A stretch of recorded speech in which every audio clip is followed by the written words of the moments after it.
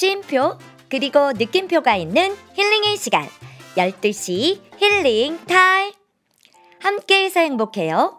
찻잔에 담긴 쉼과 찬양. 힐링 타임의 행복띠 강지영입니다. 뜨거운 태양의 열기로 에메랄드빛 바다가 더욱 반짝반짝 빛나는 8월입니다. 올여름도 오랜 장맛비와 또 폭염으로 많이 지치시고 힘드셨을 텐데요.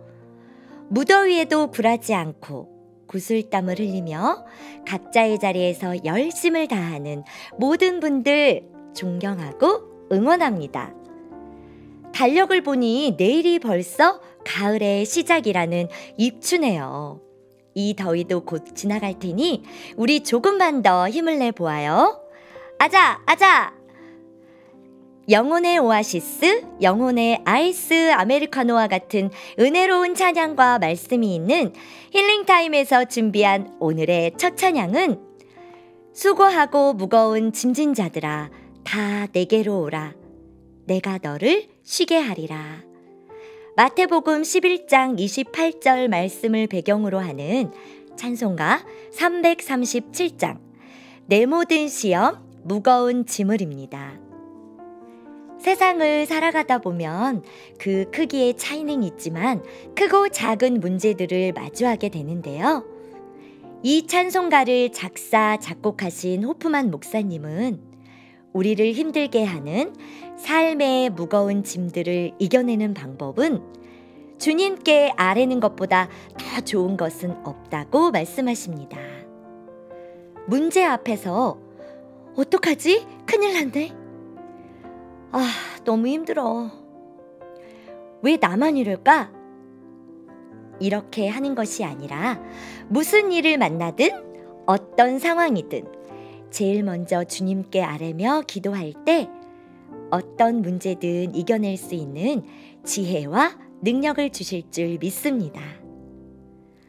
하나님의 어리석음이 사람보다 지혜롭고 하나님의 약하심이 사람보다 강하신 그 위대하신 내 아버지 하나님께 감당하기 힘든 모든 짐을 내려놓을 때 나의 약함을 아버지의 강함으로 채워주시고 나의 억울함을 아버지의 공의로 판단해 주시니 세상이 줄 수 없는 평안을 얻을 수 있습니다. 그 크신 주님의 은혜를 노래하는 찬송가 337장 내 모든 시험 무거운 짐을 함께 감상하시겠습니다.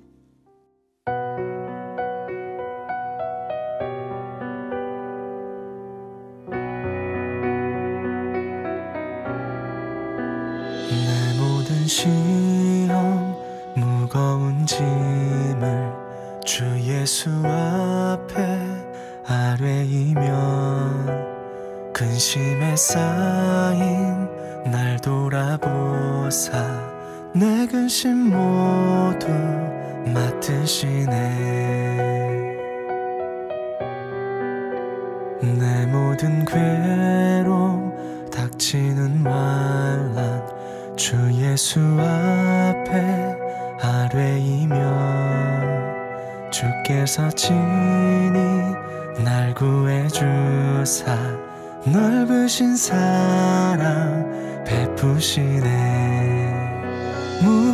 짐을 나 홀로 지고 견디다 못해 쓰러질 때 불쌍히 여겨 구원해 줄니 은혜의 주님 오직 예수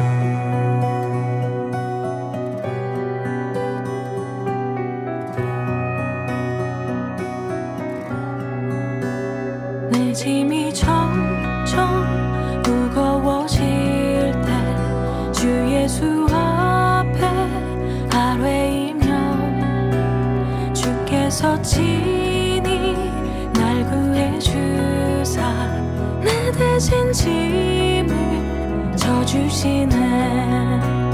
무거운 짐을 나 홀로 지고 견디다 못해 쓰러질 때 불쌍히 여겨 구원해 줄리 은혜의 주님 오직 예수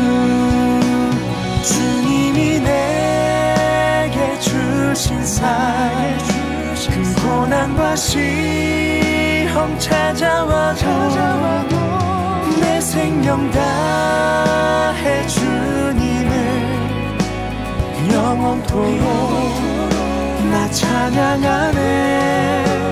십자가 그 사랑으로 우리 자유 얻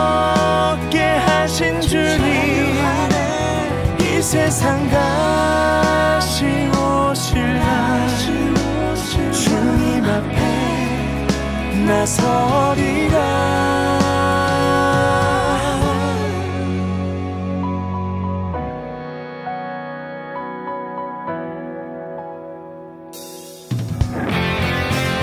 무거운 짐을 나 홀로 지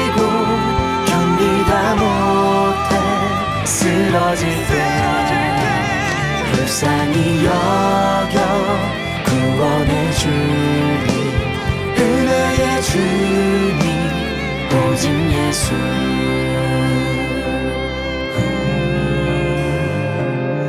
마음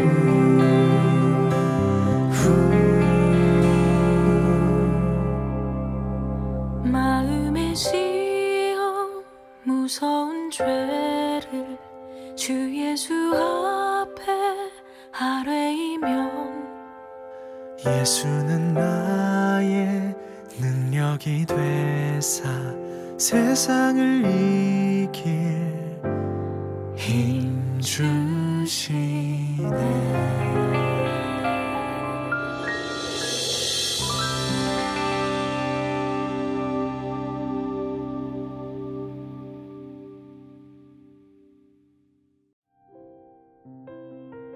아멘.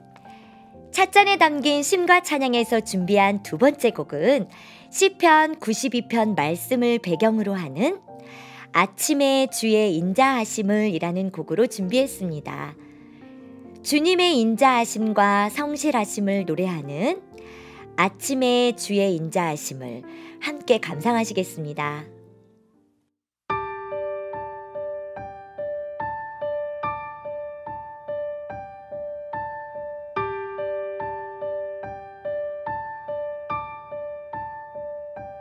아침에 주의 인자심을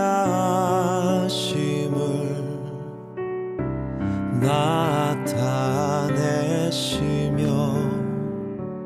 밤마다 주의 성실하심을 베품이 좋으나이다 여호와께 감사하며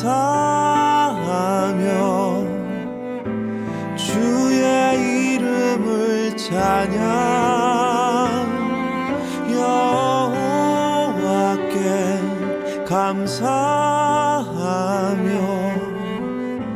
주의 이름을 찬양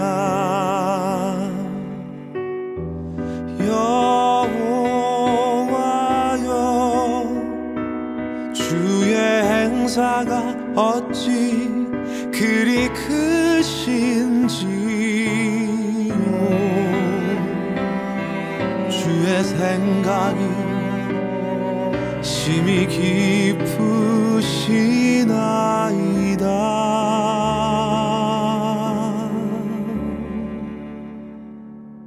아침에 주의 인자심을 나타내시며 밤마다 주의 성실하심을 베 품이 좋으나이다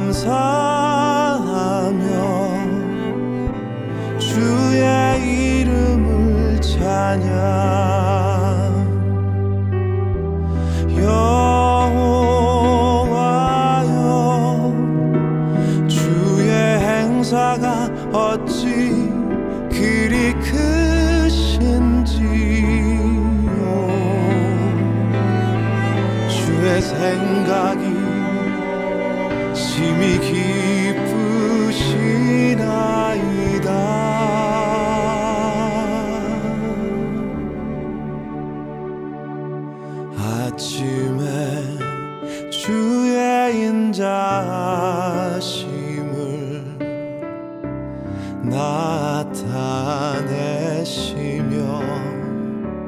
밤마다 주의 성실하심을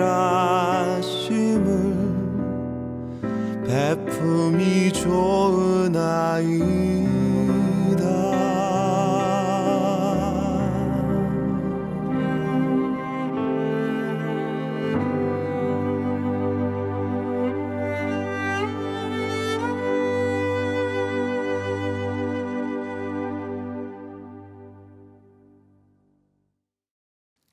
아멘.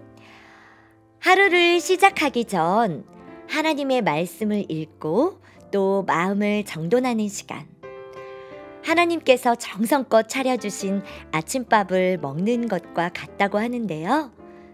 아침에 주의 인자하심을 나타내시고 밤마다 주의 성실하심을 베풀어 주시는 신실하신 하나님의 사랑을 노래하는 이 찬양을 감상하면서 매 순간 나를 지켜주시고 도와주시는 아버지의 사랑에 다시금 감사하는 마음이 들었습니다.